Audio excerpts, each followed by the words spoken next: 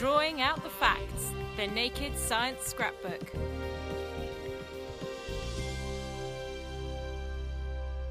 Hello and welcome to the Naked Science Scrapbook from the Naked Scientists. This time we're answering the question How do thermoelectric generators work?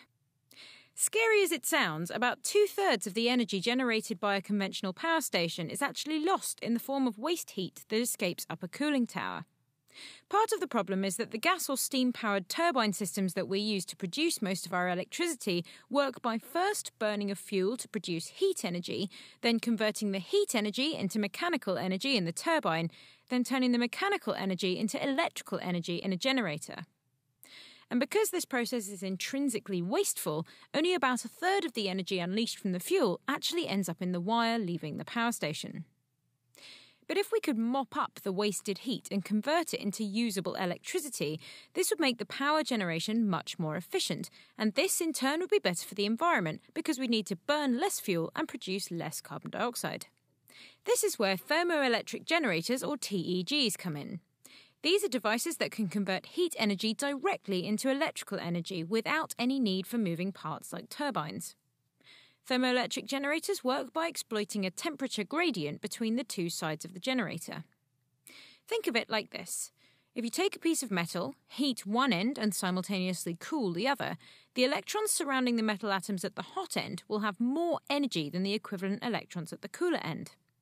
This means the hot electrons will be jiggling around faster than those at the cool end, so they'll tend to move towards the cold end faster than the cold electrons will move towards the hot end.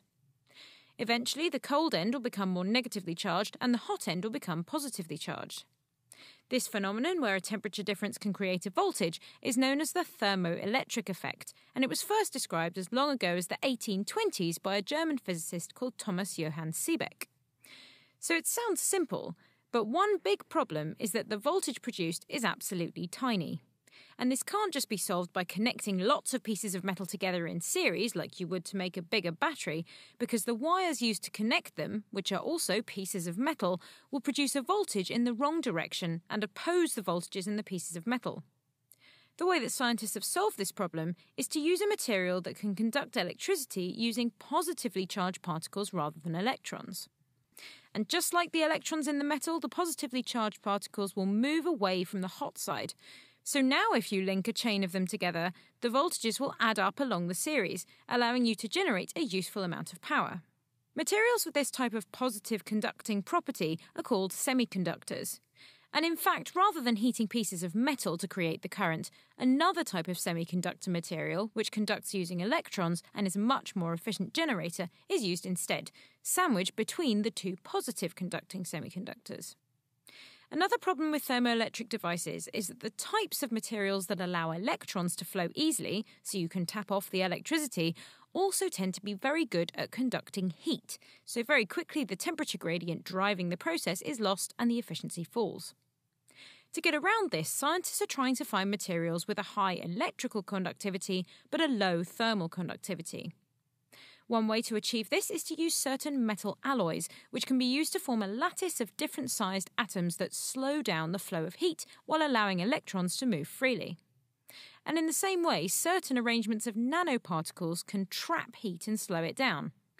In general, the more joins or interfaces there are between the particles, the slower heat is able to move. Right now, TEGs produced using these technologies are only about 10% efficient at best, but in industries on the scale of a power station, even at this early stage, this could still contribute a huge fuel saving. Another area that might soon benefit from the use of this technology is the auto industry. Just like a power plant, over 70% of the energy locked up in the fuel you put in your car exits along the exhaust pipe as wasted heat. As a result, a number of car manufacturers are now testing prototype TEGs that can scavenge back some of this wasted heat from the exhaust and use it to run things like the air conditioning unit and the lights, and to charge the batteries in hybrid vehicles. Industry experts are predicting that we'll see the first mainstream TEG equipped cars as soon as 2017.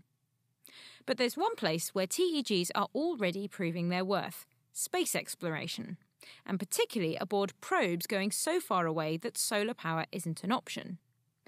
Space provides an excellent working environment for TEGs because the average temperature in space is just 3 degrees above absolute zero, which takes care of the cold side of the generator very nicely. Meanwhile, the hot side is provided by a radioactive source such as strontium 90, which produces heat as it decays. This type of radioisotope thermoelectric generator was used in the Apollo missions and is currently powering the Cassini and Voyager spacecraft missions millions of miles from home. That's it for this time. To get the answers to more science questions, join us online at thenakedscientists.com forward slash scrapbook. Bye!